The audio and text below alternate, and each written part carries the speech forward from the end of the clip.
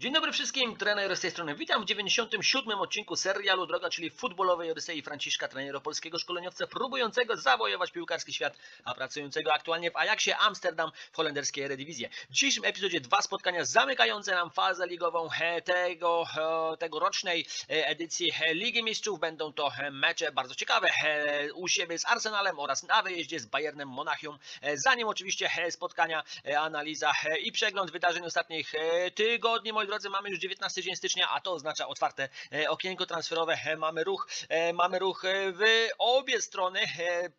Przeprowadziliśmy trzy transfery do klubu, e, dwa e, z klubu, trzeci jeszcze jest e, ustalony, on dojdzie do skutku dokładnie za tydzień, ale najpierw mamy pierwszy dzień stycznia, Fabio Vieira odchodzi z Ajaxu Amsterdam. Zawodnik gdzieś na początku grudnia przyszedł do swojego szkoleniowca, poprosił o transfer, jako że tęskni za domem, jest Portugalczykiem, więc myślę, ok, będziemy zatem oczekiwać oferty z Portugalii, po czym ofertę składa Norwich City, czyli zespół z miasta, który nie jest blisko Portugalii zasadniczo e, i piłkarz e, podpisuje kontrakt i przechodzi. E, Super, fantastyczne zachowanie Fabio Vieira, tęskni za domem, tęskni za Portugalią, dlatego idzie grać w Anglii.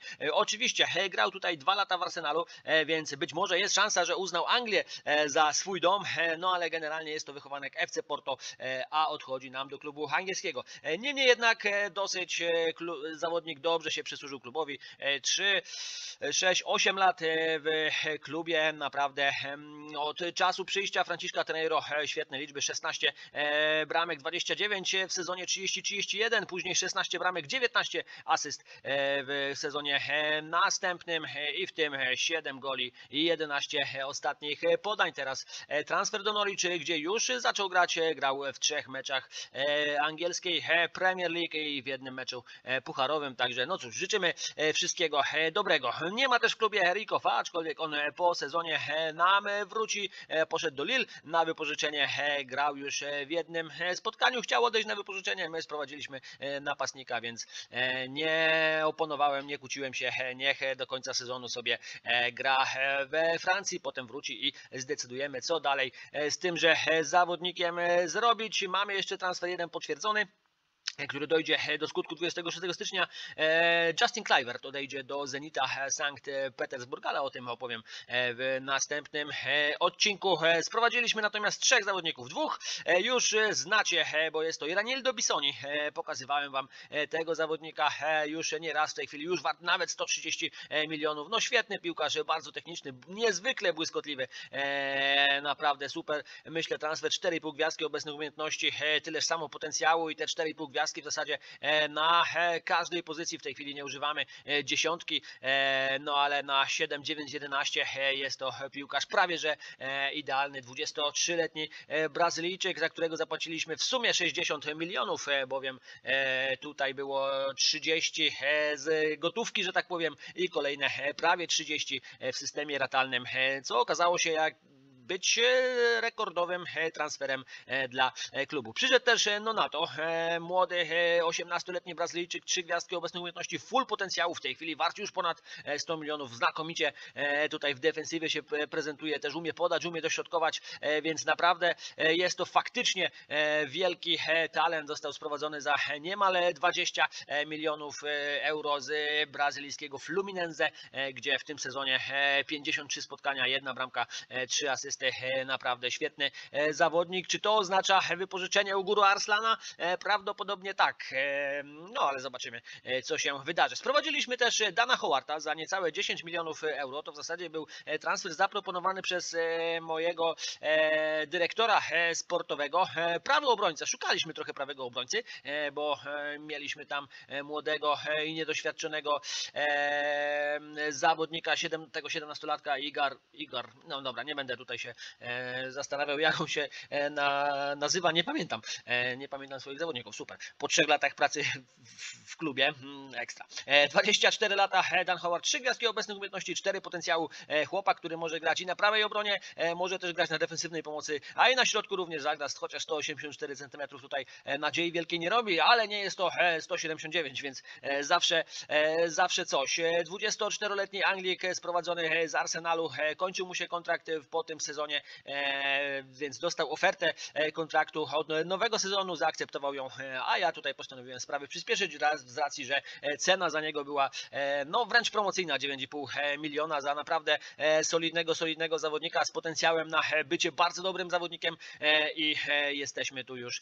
z tym zawodnikiem zespołem. Miał nawet grać w meczu ligowym, ale doznał kontuzji i jeszcze jakieś między 3 dni a 2 tygodnie nie, nie będę mógł korzystać z tego piłkarza. Tyle tytułem transferów, jak widzicie 150 milionów prawie wydaliśmy, aczkolwiek tutaj jest troszkę milionów, no choćby 30 na transferze Iranildo Bisoniego, więc generalnie realnie wydaliśmy około 115-120 milionów, tak więc jesteśmy troszkę na plusie w stosunku do tego, co, co zarobiliśmy. E, więc e, mam nadzieję, że wszystko tutaj pójdzie zgodnie z planem. Być może jeszcze e, ktoś tutaj opuści. Bardzo duże zainteresowanie generuje João Paulo, ale jego na razie nie mam zamiaru się pozbywać. O jego tutaj potencjał. Został zdegradowany już do czterech gwiazdek. Jeszcze gorzej prezentuje się Matson, który znowu gdzieś tutaj te dwie i pół, trzy gwiazdki, a jego potencjał się znowu zdewaluował. W tej chwili jest to już trzy gwiazdki, więc być może Matson no, czek, patrzymy tutaj na ostatnie tygodnie tego zawodnika w zespole. Być może go sprzedamy, a być może nie, bo jakieś tutaj liczby nam generuje w tym sezonie 4 bramki, 8 asyst, 7,21 ocena, więc też nie widzę przeszkód, żeby tego zawodnika jeszcze trochę tutaj potrzymać. E, kwestia e, meczów, ostatni nasz odcinek e, to był Midtjylland i Alkmaar. Później graliśmy z Alkmaarem na wyjeździe. Popis jednego gracza, już widzicie kto. Grzesiu Piekarski. Przegrywaliśmy generalnie o 39 minucie. O 39 minuty graliśmy bardzo słabo, no ale w 60 Grzesiu powiedział do swojego kolegi słuchaj, potrzymaj mi piwo, muszę coś zrobić. I strzelił cztery bramki. Asysty Matsona, Hualdego, Matsona, Jose Carlosa. W tym meczu w ogóle no nie mogliśmy wykorzystać mnóstwa zawodników. No, kontuzjowani e, byli e, i no w zasadzie wszyscy, obydwaj zawodnicy z prawej obrony. E, kontuzjowany był Szurs, e, kontuzjowany był e, Vargas, tutaj kontuzjowany był Timber. No mnóstwo zawodników. Zobaczcie jak wyglądała nasza ławka rezerwowych. Gren to jest zawodnik z U18, Dudman U18, Para U18.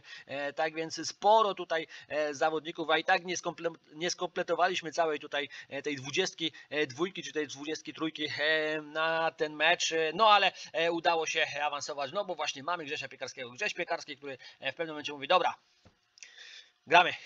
I strzela bramkę za bramką. Cztery bramki w 29 minut. No, chyba to mówi e, samo e, za siebie. Później mamy małą przerwę. Nie, jeszcze nie mieliśmy tutaj małej przerwy, dopiero po dwóch następnych meczach mieliśmy przerwę. Niemniej jednak mecz później ligowe starcie z Willemem Tilburg, które wygrywamy 1 do 0 po takim no może nie słabym meczu, bo wygenerowaliśmy XG czy też XG e, na poziomie 3,50, e, więc e, powinniśmy tutaj wygrać znacznie więcej. Niemniej jednak w 16 minucie Żał Paulo wykorzystuje dogranie Piekarskiego. Mamy 1 do 0 pewne 3 punkty. Zapisujemy, później jedziemy do Utrechtu na mecz z tamtejszym FC. Wygrywamy 3-1 bramki Piekarskiego z asysty Żał Paulo, Taylora z asysty Gravenberga i Rikofa z asysty Fabio Viery w doliczonym czasie. Tutaj Ledling strzela nam bramkę w 60 E, pierwszej minucie i mamy wynik 3 do 1 e, i mecz ostatni już e, w nowym roku, już z nowymi zawodnikami w składzie. Wygrywamy 4-0, 4 do 0 z Wolendamem. Pierwsza bramka Bisoniego w 33 minucie wykorzystuje wrzutkę Fenola. Później mamy bramkę Vargasa, który ładnie się podłączył tutaj do akcji ofensywnej, wszedł w pole karne, wykorzystał podanie Gravenberga i mieliśmy 2 do 0. Chwilę później strzelamy bramkę numer 3, Piekarski wykorzystuje karny i zaraz po rozpoczęciu drugiej połowy Fenol, e, znowu świetna akcja, e, świetne dogranie e, i bramka Matsona. Wygrywamy mecz 4 do 0. Fenol jest jego bohaterem. No i dzisiaj gramy z Arsenalem, więc już przechodzimy do składu na to spotkanie. Vanderberga, Achten w bramce, Vargas, Hualde, Hato, Fenol w obronie. Timber, Gravenberg, Taylor w pomocy, Matson, Piekarski, Żał Paulo zagrają w ataku. Nie możemy skorzystać oczywiście z Nonato, Bisoniego i Howarda. Howard jest kontuzjowany, Nonato i Bisoni i Howard są też niezgłoszeni bo to jest jeszcze faza ligowa, nie jest to faza pochorowa. Do fazy pochorowej będę mógł zgłosić tychże zawodników. Szurs jeszcze lekko kontuzjowany, nie może zagrać, nie zagra w tym meczu, choć pewnie i mógłby, wsadzimy go na ławkę. Być może jakąś tam końcóweczkę sobie zagra. Tak czy siak zgłaszamy skład. Wychodzimy na boisko na mecz z Arsenalem, którego nie jesteśmy oczywiście faworytem, no ale przydałoby się tutaj zremisować. No oczywiście najfajniej by było wygrać, bo gdy wygramy to w zasadzie awans z pierwszej ósemki mamy w kieszeni. Tak więc nie ma tutaj nie ma, że boli. E, no ciekawy skład. Aaron Ramsdale jeszcze gra, e, William Saliba e, gra, kogo my tu mamy? Marcina Odegarda, Bukayo Sake, tak więc sporo zawodników gra od wielu, wielu lat w Arsenalu. Fajnie, że są wierni swoim klubowym barwom, fajnie, że cały czas są aktywni i grają. Przechodzimy już do spotkania. Zaczynamy mecz Ajax kontra Arsenal. Mecz dwóch ofensywnie usposobionych zespołów, więc mam nadzieję tutaj na bramki w tymże, w tymże meczu. Oczywiście mam nadzieję, że my strzelimy ich e, choćby jedną więcej. E, Hato, budujemy sobie spokojnie akcję. Gravenberg do Piekarskiego, Piekarski do Macona. Macon już staje przed szansą, ale lekkie uderzenie. E, no właśnie, czy to jest zawodnik z, poten z potencjałem na Ligę Mistrzów? Ciężko powiedzieć. Teraz Hato nie wykorzystuje dośrodkowania i oddajemy kolejny strzał. Tak więc te pierwsze minuty zdecydowanie dla nas, choć posiadanie zdecydowanie po stronie Arsenalu. Ta taktyka tutaj nie generuje nam wysokiego posiadania, teraz Jurien Timber e, trafia, fantastyczna e, bramka, asysta Gravenberga i mamy 1 do 0. E, za chwilkę zobaczymy jak do tego doszło, bo była to ładna akcja. Mamy stały fragment, Gravenberg dośrodkowuje, tutaj jest wybicie, Gravenberg jeszcze raz dopada do piłki, podaje przed pole karnej, fantastyczny wolej, tu jeszcze piłka od jednego z obrońców się odbiła, który wystawił nogę numer 5, nie zauważyłem kto to był, nieistotne, istotne jest to, że prowadzimy Moi drodzy, 1-0 mimo e, faktu, że to posiadanie 64-36 dla Arsenalu już teraz trochę e, zmalało, e, to jednak my jesteśmy tutaj stroną dominującą w tym spotkaniu. Dobrze bronimy, dobrze atakujemy. Teraz Piekarski próbował tam znaleźć Żał Paulo, nie znalazł, ale mamy Fenola, mamy Żał Paulo, Żał Paulo 2-0. Będzie spalony? Nie, chyba nie. Nie ma szans. Jest bramka uznana. Żał Paulo trafia 20, 21 minuta, 12 trafienie Żał Paulo, 9 asysta asysta Fenola, dziewiąta albo dziesiąta ale zdaje mi się, że dziewiąta, tak więc naprawdę świetnie gra nasz e, prawy obrońca, e, czując tutaj oddech nowego kolegi e, na plecach Howarta, który na pewno jakieś szanse będzie dostawał, bo będziemy musieli tutaj stosować sporo rotacji z uwagi na to, że gramy i w Pucharze Holandii i w Lidze i prawdopodobnie grać będziemy w Lidze Mistrzów także na wiosnę, jeżeli nie awansujemy od razu, to będziemy grać w tej rundzie barażowej, tak więc to będą kolejne dwa mecze ale e, na razie e, dobrze sobie radzimy. Uwaga, teraz strata piłka, Arcie przy piłce i niestety 2-1. E, Arsenal trafia, Arsenal strzela bramkę. Znowu tutaj prosta strata. Często niestety to mamy. O, jeszcze może tutaj być, nie, gol uznany. Prowadzimy tutaj piłkę i jest prosta strata na własnej połowie. No nie możemy w ten sposób tracić piłek, bo przez takie zespoły jak Arsenal to będziemy natychmiast skarceni. Już nawet w lidze sporo zespołów jest w stanie nas skarcić po takiej stracie, bo to jest niestety E, przede wszystkim e, o karierę kontuzja, e, ale wchodzi nie karierę, tylko Jean Paulo kontuzja, wchodzi Nathan Carrier na boisko i będzie kontynuował spotkanie. My już jesteśmy w obliczu końca pierwszej połowy. O, widziałem Chelsea, FC Midtjylland 6-0, bramek Hendrika widziałem, e, tak więc e, no wypuściliśmy chyba z ręki prawdziwy światowy dia diament. Och, Piekarski, teraz mocne uderzenie. E, Hendrik, zobaczmy sobie Chelsea, Midtjylland 6-0, Hendrik, czwarta, szósta, 32, 33, 37, e, no 32, 33, 37, 5 e, minut, 3 bramki, no Hendrik jest zawodnikiem e, wyjątkowym. E, no szkoda, że nie mogliśmy tutaj dłużej e, cieszyć się tym zawodnikiem w, w Amsterdamie Amsterdamie, no ale e, jak widać należy on do wyższej półki, do tej najwyższej półki klubów e, Ajax. Jeszcze na tej najwyższej półce e, nie jest, on jest tą, tą, taką powiedzmy półeczkę niżej. Moi drodzy, wracamy, albo niechcący wyłączyłem, albo powoli mi się kończy miejsce na dysku. Wracamy, 48 minuta, mam nadzieję, że obie bramki tam się nagrały, wszystko to, co miało się nagrać, to się nagrało. Już mówiłem o tym 5 bramek Hendrika w tym meczu, w tym hat w 5 minut od 32 do 30 47 minuty, tak, wszystko się nagrywa, jest ok, mamy 60 minutę spotkania, prowadzimy z Arsenalem 2 do 1 i czas tutaj na jakieś zmiany, nie mamy tutaj za bardzo, za dużej jakości na ławce rezerwowej, aczkolwiek mamy Szursa jego sobie wpuścimy za chato, jest ta zmiana, jest ok, myślę, że gotowość do gry, brakuje mu gotowości do gry, ale powinien dać radę, co tu jeszcze mogę zrobić, generalnie wszystko jest ok kondycyjnie, więc jakoś się tutaj nie muszę nastawiać na jakieś wielkie zmiany, ale chcę sobie wpuścić Jose Carlosa za Taylora, już ma żółtą kartkę, więc niech wejdzie młodziutki Brazylijczyk, pokazać co potrafi, wracamy do spotkania 60, już szósta minuta tego meczu, mam nadzieję, że uda nam się dowieść to zwycięstwo do końca, Grzegorz Piekarski już chyba dał z siebie wszystko, nie Grzesiu, jeszcze nie dałeś z siebie wszystkiego, nie mamy innego napastnika na bramce, musisz to spotkanie dograć i mam nadzieję, że dograsz. Matson, słaby mecz, ok, tą zmianę możemy przeprowadzić, Timber zejdzie, Musso wejdzie, więc mamy tutaj w zasadzie, no może nie jeden do jednego, ale Augusto Musso to też jest zawodnik mocny, trzygwiazdkowy. Moi drodzy, będziemy mieli trzy punkty, mamy trzy punkty, wygrywamy z Arsenalem, wracamy za chwilkę na Bayern München. Drodzy, wracamy na mecz numer dwa dzisiejszego odcinka. Odcinek wyłączę sobie jeszcze całkiem głos w telewizorze. Muszę być trochę ciszej, bo jest już noc. Pozostali domownicy śpią, zatem Vanderberg Achten w, na bramce oczywiście. Vargas, Hualde, Schurz, Fenol w obronie, Muso, Gravenberg, Timber w pomocy, karierę Piekarski oraz João Paulo zagrają w ataku. Przechodzimy do spotkania. Oczywiście wyjazd do Bayernu Monachium. Zobaczymy, czy mój ulubiony piłkarz tejże wersji Football Managera, czyli Patrick Bulbul, zagra w zespole gospodarzy. Już za chwilkę zespoły wyjdą na rozgrzewkę, by przygotować się do tegoż spotkania i będziemy mieli tą no, ładną w tym sezonie prezentację składów w oprawie Ligi e, Mistrzów. E, już za chwilkę to powinno być. Oj, nie widzę tutaj, widzę, jest Patrick Bulbul. Czy na prawej obronie będzie grał? Zobaczymy sobie to jeszcze w E, na grafice. Wydaje mi się, że to był zawodnik e, ofensywny, chyba że grają trójką obrońców e, i on tutaj jakoś tak jest pierwszy na liście wśród zawodników z pola. Już za chwilkę.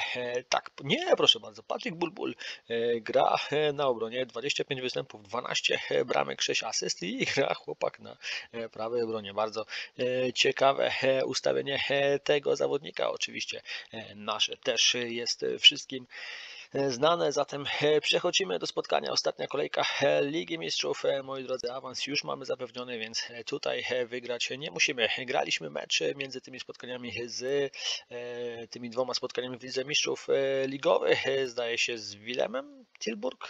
Tak mi się coś kojarzy. Tak czy siak wygraliśmy go 2 do 1 po praktycznie pełnej rotacji zespołu. Tam zdaje się tylko Fenol i Piekarski zagrali w pierwszej połówce, w drugiej wystąpili e, inni e, zawodnicy e, i tutaj już obejmujemy prowadzenie, moi drodzy, w 13 minucie spotkania. Mm, a jak obejmuje prowadzenie w meczu z Bayernem Monachium, co jest pewnym, jest pewną tutaj niespodzianką, wybaczcie, nie mogę tutaj się zbyt specjalnie emocjonować, tak jak mówiłem, wszyscy tutaj już śpią i muszę, nie mogę za głośno tutaj rozmawiać. Tak czy siak powody do radości są, bo oto obejmujemy prowadzenie akcja E, Natana Kariera, Natana Kariera i e, Juliana Timbera, e, akcja i bramka tego drugiego, a tymczasem Marbilla prawie nam pakuje bramkę, ale na szczęście do tego nie doszło. Prowadzimy 1-0, jeszcze kolejny stały fragment dla zespołu gospodarzy. Bulbul przy piłce, naprawdę jest to kapitalne nazwisko. Tak czy siak Bayern trafia w poprzeczkę i udaje nam się tutaj upiec. Widzę Alfonso Davis jeszcze gra w Bayernie Monachium, widzę też Delichta w składzie Dajota e, Upamecano, e, tak więc też sporo tutaj znanych e, i światowej klasy piłkarzy, no ale ciężko się tutaj spodziewać jeszcze Musiale tutaj mają w Bayernie, tak więc też sporo zawodników, którzy już od wielu lat grają w tym klubie, no ale w Ajaxie też kilku takich mamy, a tymczasem kapitalna bramka. Fenol asysta, Gravenberg asyst, przepraszam, Fenol asysta, Gravenberg kapitalne uderzenie. Zobaczymy sobie to za chwilkę jeszcze w powtórce. Naprawdę świetny gol i uwaga, bo mamy wielką już niespodziankę, bo oto prowadzimy 2 do 0 Fenol i Gravenberg przyjmuje uderzenie z 20 metra. Naprawdę piorunujące i mamy już dwubramkową przewagę i nie wiem, czy nie fotel lidera e, Ligi Mistrzów, co byłoby naprawdę e, bardzo, bardzo ciekawe. Zobaczmy, co będzie dalej. Upamecano do Davisa, João Paulo, uwaga, João Paulo nie ma bramki numer 3 i uwaga, nie ma też, przypomniało mi się, nie ma też w składzie Niko, którego sprzedaliśmy. Odszedł Justin Kluivert do Zenita Sankt Petersburg, odszedł także Niko, który chciał odejść, ofertę złożyła Benfica, Benfica Lizbona zdaje się. E, zarobiliśmy jakieś tutaj 20 e, milionów euro, e, tak więc jesteśmy już oficjalnie na plusie w kwestii finansowej. No nie mamy środkowego pomocnika, szkoda, bo Niko był zawodnikiem, który ładnie się przysłużył, a tymczasem Timber trafia po raz drugi. Vargas zalicza asystę, tak więc mamy już asysty dwóch bocznych obrońców. Brawo, Vargas troszkę mało aktywny w tym sezonie, zdaje się jedna bramka i teraz chyba dopiero trzecia asysta Meksykanina. No ale jest e, asysta w ważnym meczu. Timber, druga bramka. Też gratulacje dla tego zawodnika. Dzisiaj gra na tej pozycji e, pomocnika długodystansowca, więc zdecydowanie mocno się w ofensywie e, udziela. No i na tyle mocno, że po prostu strzelił nam w tym spotkaniu dwie bramki, więc brawo Jurien. Oby tak dalej. Zobaczymy, czy może częściej będziemy korzystać z tego zawodnika na tej pozycji. Uwaga, Piekarski, mamy 4-0. 4-0 w pierwszej e, połowie z Bayernem e, na wyjeździe. Kapitalne e, spotkanie kariery. Druga asysta, również ten chłopak gdzieś tutaj utknął na tych dwóch i pół gwiazdkach, no ale może po takim meczu troszkę się otworzy na trzecią. Świetny przechwyt, odczytuje, odczytuje zamiary przeciwników, świetnie podaje do Grzesia. No a Grzesiu wiadomo, jak to Grzesiu, jeżeli nie, nie złapią go na spalonym, to znaczy, że prawdopodobnie będzie bramka kariery już zmęczony. On grał też e, dwa dni wcześniej e, w drużynie rezerw, więc e, ma prawo tutaj odczuwać jakieś zmęczenie. Oczywiście w przerwie już chyba nie będziemy czekać, wpuścimy na boisko Matsona, albo może jeszcze zobaczymy karierę, na ile się odbuduje. No chyba nie na wiele, więc damy mu jeszcze 10 minut w drugiej połówce e, i e, zdejmiemy, wpuścimy na boisko Matsona, który tak jak mówiłem gdzieś ustabilizował swoją formę na tych trzech gwiazdkach obecnych umiejętności, ale niestety e, potencjał też mu zmalał właśnie do tych trzech gwiazdek, więc możemy się spodziewać, że Matson już wiele się tutaj nam nie rozwinie. Oczywiście może jeszcze gdzieś tutaj te półgwiazdki złapać bazując na obecnej formie, to jest fajny jingle tutaj, który został wprowadzony do gry, że jeżeli ktoś ma naprawdę dobrą formę, strzela bramki, to te gwiazdki e, mu rosną. Uwaga, Patryk Bulbul, e, chyba pierwsza ofensywna akcja tego zawodnika. E, no i proszę bardzo, bardzo ważne włączenie się Bulbula i mamy gola na 4 do 1. Tak więc Bayern zaczyna odrabiać straty. Patryk Bulbul znakomicie włączył się do akcji, poszedł prawą stroną, świetnie dośrodkował Fenol, tutaj wyskoczył, ale z Herezem, który strzela bramkę, mm, no pojedynek przegrał i niestety e, mamy 1 do 4. Niemniej jednak e, nadal jesteśmy w dość mocno chyba e, uprzywilejowanej pozycji. Uwaga, Heres, teraz Alfonso Davis robią no tutaj nam krzywdę w tych bocznych sektorach. Bulbul i Davis. Znowu uwaga, dośrodkowanie i po raz kolejny mamy zagrożenie ze strony przeciwnika. O, uwaga, jeszcze jedna akcja. Po tej akcji ściągniemy sobie tutaj kariera z boiska, który już naprawdę jest mocno zmęczony. Alfonso Davis, kolejne dośrodkowanie teraz szansa, nie, myślałem, że to mój zawodnik, ale to nie mój zawodnik, Muso e, dobrze w odbiorze, ale będzie musiał ponowić znowu Bulbul przy piłce, e, Bulbul poradził sobie z Vargasem, jeszcze raz sobie poradził z Vargasem, dośrodkowuje i ma Billa i proszę bardzo, mamy 4-2, e, strzelamy 4 bramki w pierwszej połowie, już w przeciągu 10 minut drugiej połowy. Dwa razy Bulbul włącza się do akcji i dwa razy znakomicie asystuje Tym razem do siatki e, trafia Mabilla, no i zrobiło się e, troszkę, troszkę problematycznie. E, uwaga, stop. Poproszę taktykę i zmiany. Czas tutaj wprowadzić. Nie bardzo tutaj mamy, za, no nie mamy tutaj za dużo jakości na tej ławce. To są głównie młodzi, młodzi ludzie, no ale Macona sobie wpuścimy, bo jest to już piłkarz o pewnej klasie sportowej. Choć zobaczcie na tej lewej stronie lat raptem 2,5 gwiazdki obecnych umiejętności bardziej na środku, e, bardziej w formie e, wysuniętego rozgrywającego na pozycji numer 10. On tutaj e, pokazywał nam momentami trzy gwiazdki. Uwaga, Timber! Julian Timber zalicza hat-trick w tym spotkaniu. Obrońcy sygnalizują spalonego, będzie spalony. Jak nic.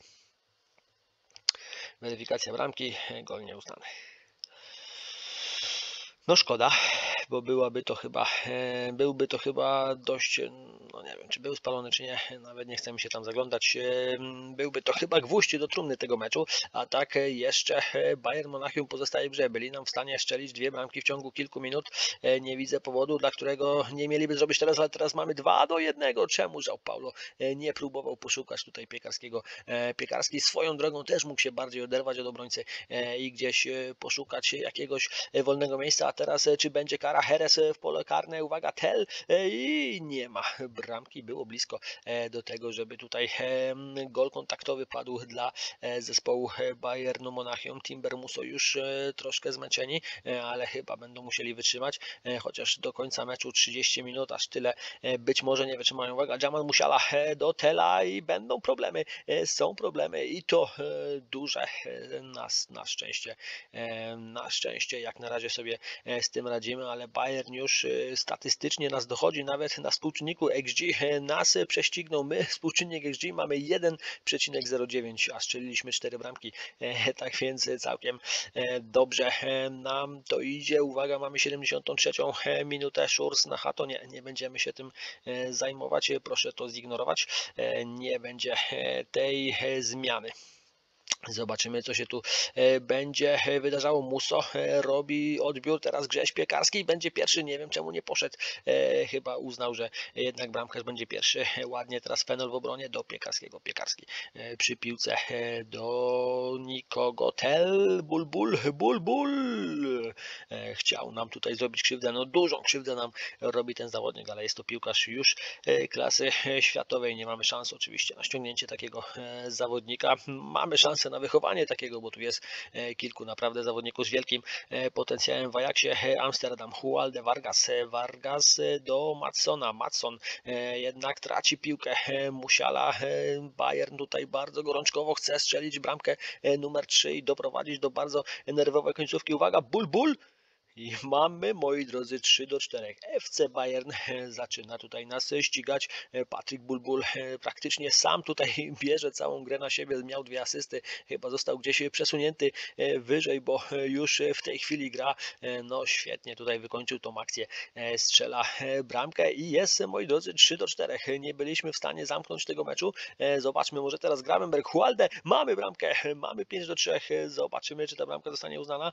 Szurs mógł być znowu będzie spalony. Weryfikacja bramki. Gol nieuznany. Tak więc znowu strzelamy bramkę, znowu nieuznaną. Jest tutaj spalony. Nie wiem, czy jest, nawet mi się nie chce. E, nie chcę patrzeć. Kogo mamy na ławce? Nie mamy tam na ławce za dużo e, jakości. 86. Możemy troszkę świeżości wnieść w postaci Jose Carlosa, e, który zastąpi nam Gravenberka. Albo nie, zastąpi nam Timbera. No Timber ma tą żółtą kartkę. Jest już dość mocno e, wyeksploatowany. E, dobra, więc e, ta zmiana jest ok. Zatwierdzamy i wracamy na boisko na te ostatnie już parę minut. Ojejku, będzie remis. Jak nic. Tel. Uff, no upiekło się. Bayern już y, nas wyprzedził w strzałach, ma przewagę 20 do 15, 64% posiadania piłki, e, tak więc nie jest tutaj e, dobrze, ale generalnie e, wytrzymujemy to chyba na tyle, żeby wywieźć 3 punkty z, tego, z Monachium. Wywozimy, moi drodzy, 3 punkty z Monachium. Wybaczcie ten mój jeszcze raz dość oszczędny entuzjazm, e, bo był to mecz, który powinien być komentowany no, z dużymi emocjami, bo był to mecz niezwykle emocjonujący, naprawdę gotuje się to we mnie i chciałem tutaj już parę razy podskoczyć przy swoim biurku i naprawdę troszkę głośniej się zachowywać, ale tak jak mówię, mm, nie mogę, nie chcę pobudzić, nie chcę mieć jutro kłopotów. I tyle. E, moi drodzy, e, wygrywamy 3 do 4, 3 do 4 tak? Za chwilkę e, zobaczymy sobie, gdzie będzie nasz następny odcinek. Już chyba wiem, będzie to mecz z PSV, zdaje się. Tak więc jakieś 3 mecze ligowe sobie rozegramy, o ile komputer nam przetworzy tutaj to wspaniałe zwycięstwo. Na szczęście nam przetworzył, ok. Mamy pierwsze miejsce. Proszę bardzo, wychodzimy w Lidze Mistrzów z pierwszego miejsca. Czy to może coś oznaczać? Myślę, że może być bardzo ciekawie. Ajax otrzyma 1,5 miliona, Ajax otrzyma 2,8 miliona. Jeszcze zobaczymy sobie transfery bo w tej e, materii, tak jak mówiłem, też e, coś się wydarzyło. Niko e, odchodzi do Benfica Lizbona za 16 milionów, to może urosnąć jeszcze do 20. Jego historia tutaj w Ajaxie trwała dosyć długo, 10 lat, 10 sezonów, tak, tyle sezonów spędził Niko w Ajaxie Amsterdam naprawdę jest to zawodnik, który dla klubu się zasłużył i serdecznie mu dziękujemy. I oczywiście życzymy powodzenia w, w ekstraklasie e, Portugalii. Tam Bewin, czy jakoś tam się to nazywa ta e, ekstraklasa. E, szybciutka wizyta w kalendarzu. Jeszcze między tymi dwoma spotkaniami mieliśmy mecz z De Graafschap, przepraszam, nie z Willemem Tilburg, nie z Willemem Tilburg tylko z De Graafschap, które wygrywamy 2 do 1. Najpierw w 43 minucie Jensen Abiusz strzela samobuja po próbie dośrodkowania piekarskiego. Odefalk trafia na 1-1, ale w 75 minucie wprowadziłem e, tego oto pana, e, młodego wychowanka Derwina Barsa, e, który jest prawym pomocnikiem albo napastnikiem. Wpuściłem go właśnie na pozycję napastnika za Grzesia Piekarskiego i właśnie ten piłkarz w 75 minucie wykorzystuje dośrodkowanie karierego i mamy bramkę na 2 do 1 w 90 doliczonej czasie gry. W 95 minucie Muso jeszcze nie trafia z rzutu karnego. Tak czy siak nasz, nasz następny odcinek to będzie będzie PSV i SC Kambur, e, no a potem prawdopodobnie e, dwa, chociaż nie, zrobimy sobie jeden mecz któreś z tych dwóch meczów Ligi Mistrzów. No i musimy zagrać z Groningen na wyjeździe, bo Groningen naprawdę w tym sezonie e, pokazuje się znakomicie. W tej chwili e, drugie miejsce, jedyny zespół, który e, tutaj próbuje nas ścigać, bo PSV już z tego wyścigu 6 remisów, dwie porażki i 15 punktów straty do nas raczej się nie liczy. Feyenoord jeszcze dwa punkty niżej też raczej się, raczej się nie liczą. No a Groningen jak na razie jedyny zespół, który no tutaj coś nam pokazuje. E, wprawdzie przegrali z nami pierwszy mecz, no ale teraz rewanż myślę e, będzie e, niezwykle ciekawy. Tak czy siak nasz najlepszy, nasz następny odcinek to PSV i SC Kambur w następnym odcinku, na który już serdecznie zapraszam. Jednocześnie dziękując za uwagę w odcinku dzisiejszym. Do zobaczenia. Peace out.